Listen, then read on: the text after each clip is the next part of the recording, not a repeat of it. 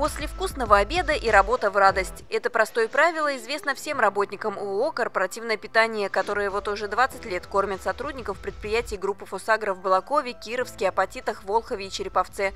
Заводчане старания кормильцев замечают. Если раньше блюда были больше похожи на столовские, то сейчас до ресторанного уровня практически доросли. Наши э, повара нам устраивают праздники даже. Это национальная кухня, там татарская, русская, там европейская кухня. Очень часто такие. Бывают дни там здорового питания. С каждым годом, да, э, вот это качество питания, разнообразное меню, да, оно все лучше и лучше и лучше. Но корпоративное питание – это не только люди, которые стоят у плиты, но и те, кто выдает блюда, отбирает лучшие продукты, следит за качеством пищи. Поэтому первый этап конкурса профессионального мастерства, который стартовал на Балаковской площадке, объединил торговых работников и официантов.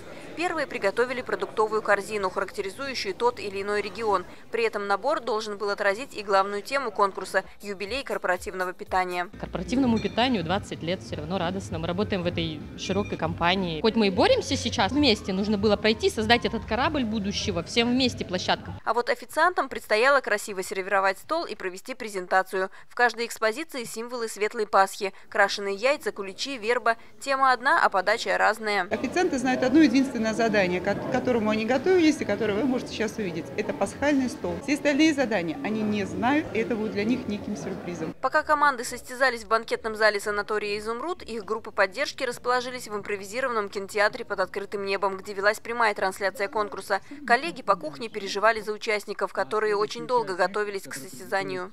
В этот день на территории Изумруда царила атмосфера масштабного семейного праздника. Конкурсы, игры, развлечения и угощения скучать не пришлось никому. Детей и их родителей удивляли ростовые куклы. Как не сделать фото с золотым поваренком или забавным фосагриком.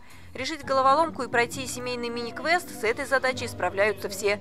Мечтали о шарже на себя, и это желание исполнилось. Хотите что-то смастерить? Пожалуйте на мастер-класс. Я выбрала шоколадку делать. Там я клеила цепь цыпленка. Я хочу свои крестные пода подарить. На память о празднике можно было самим выковать монетку с логотипом. Ну а после такой активности самое время попробовать вкусный плов, приготовленный на мангале. Все супер, конечно, весело. Дети довольны, эти ростовые фигуры, вот эти вот, эти развлечения. Во всех играх поучаствовали, шоколадок на выигрывали. Конечно, для семейного отдыха очень здорово. Желающих побывать на празднике было очень много, поэтому их разделили на две группы. Развлечений, угощений и подарков хватило всем. Тем временем члены жюри подводили итоги конкурса. В результате у балаковцев самое большое количество побед в различных номинациях. В лидерах также профессионалы из Череповца.